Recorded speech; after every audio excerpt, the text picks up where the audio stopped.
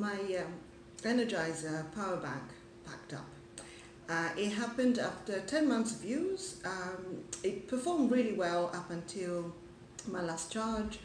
I think I made a mistake of wanting to charge two devices at the same time and uh, after that it stopped working. It seemed uh, that the battery was unable to recharge from that point onwards. So all in all, I had uh, 10 months of good use of the power bank. It was um, not a constant use, so some weeks I wouldn't use it at all, and some others I will be probably using it every day.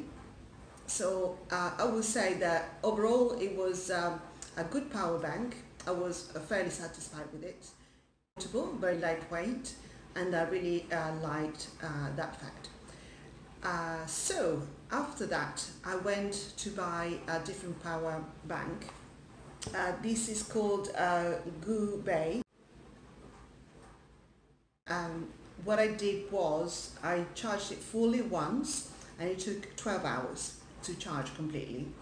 And after that, uh, I've only charged my mobile when it was at 50%. So to get from 50% to 100%, it took an hour. So I'm estimating that uh, it will take two hours to, um, to charge completely.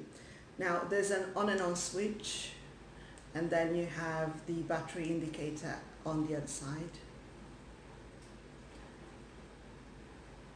So this is after a couple of charges and uh, it's still showing at four uh, LED lights so each light is 25% so my guess is that we are at 80% and then shortly it will come down to three lights. So um, I would say that probably this will charge a phone five times. That would be my estimate.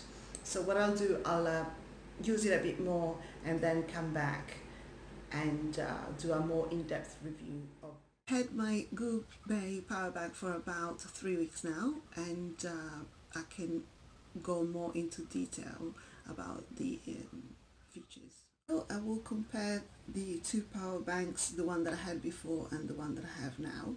So this is the old Energizer and this is the GooBay. So you can see they're quite similar. However the Energizer was uh, thinner and taller um, but the weight is much different. So this is uh, the new one is much heavier. Um, however the um, the power is also higher. It's 15,000 ampere compared to 10,000 so uh, in terms of charging like a full charge for the um, Pixel would be uh, two hours from zero to a hundred percent battery.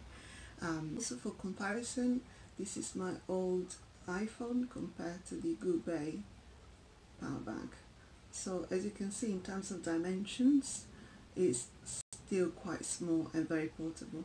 It's just the weight that it's um, I wouldn't say an issue but it is heavier than the previous uh, power bank that I had. In terms of weight uh, Energizer is 240 grams whereas GooBay is 330 grams.